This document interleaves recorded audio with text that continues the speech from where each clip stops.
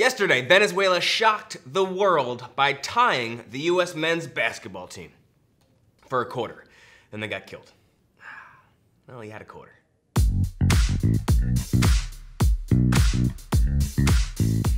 Welcome to Extra Point. I'm your host, Rob King. Before we get into the medal ceremony and figure out who the winners and losers of day three were, I think we need to talk about Michael Phelps. I mean, I, have seen game faces before, but damn, Michael, why are you so angry? Is it because you have 19 gold medals, but all anyone wants to talk about are your back hickeys? Are you mad because the younger swimmers are calling you Mr. Phelps? Are you listening to rap music again, Michael? All right, winners and losers, day three. What's going on here? The medal ceremony. First off, losers, bronze medal, I'm giving to the United Airlines commercial where a lady pole vaults onto a plane. Now, I'm calling shenanigans on this right off the bat. Okay, first off, everyone knows you, you can't gate check a pole vault. You gotta do that at check-in, all right? Secondly, is that all she's wearing? There's no luggage? That's, that's shady. And then she gets on the plane and they get her a glass of champagne. Everyone's cool with this? No! An air marshal would stop her right away. It, it, something's not adding up here, and no one's asking questions except me. I mean, United. Bronze medal. Bronze medal. Silver medal, Shane Tusup. He is the husband of gold medalist Hungary swimmer Katinka Hosszu, and the guy loves cheering on his wife. He just paces the sidelines back and forth like some barista Hulk. Shane, you're clearly a good coach, but with the ponytail and the tattoos, I feel like your real talent might be making foam art in people's coffees. Gold medal, I'm giving it to Lilly King. It is good to be the king. She not only won gold, she won it over a Russian who was suspended for doping.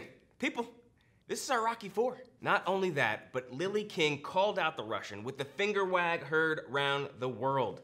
Her, her finger wag will go down in Olympic history along with Mary Lou Retton's 10, Kerri Strug's one-legged landing, or uh, Bob Costas' pink eye. This is going to be huge. After the Olympics, Lilly King's gonna go on a finger wagging tour with Dikembe Mutombo, En Vogue, and Bernie Sanders. Day three is in the books, and joining us now to talk about some of the trends he's been seeing is head writer of The Kicker, Zach Phillips. Zach, welcome to the show, man. Thanks. Good to be here.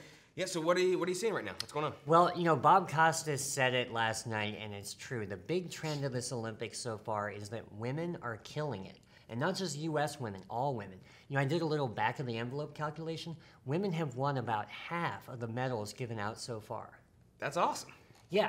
Yeah, it's great. You know, there are some events where men haven't even qualified at all, and a lot of events where women literally swept the medal stand. Events like uh, women's cycling, women's weightlifting, women's 100 meter butterfly, women's synchronized springboard for women, women's yeah. air, women's uh, pistol, and softball. Yeah, right. Okay. Those, those are women's events. So, how would. Okay. You know see, what I'm saying? I, like. Yeah, I see what you're saying. I know some people are going to come at me with this, and I'm trying too hard to create a trend, but I'm drawing an arbitrary line around gender, that I should look at these people as athletes and not women's athletes. And to that, I would earnestly respond Have you seen how many women have won women's judo? I mean, face it, the story of this Olympics is the women.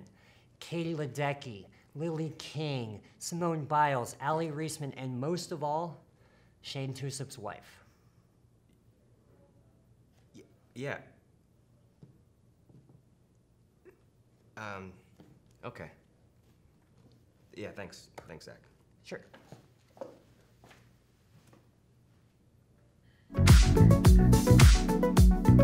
All right, time for you pick. Rivalries make the games more exciting, but what else can we add to the games to, to bump them up a little bit?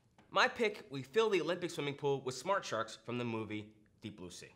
That's right, the same sharks that outsmarted Sam Jackson. That's my pick. But I want to know what your pick would be. So in the comments below, let us know what you think we should add to the games to bump them up a little bit. And I will read the coolest ones in the next episode. All right, guys, last episode we asked you what cool new events we should add to the Olympics, and here's what you said. Baron von Teapot, very cool, said chess boxing. Classy, but dangerous, Baron. Thanks. And Rishi Bando Pade said crab soccer. Rishi, great suggestion, but crabs already have their own Olympics. It's played under the sea. And, okay, I didn't. Anyway. Guys, I'm Rob King. Thanks for watching The Extra Point.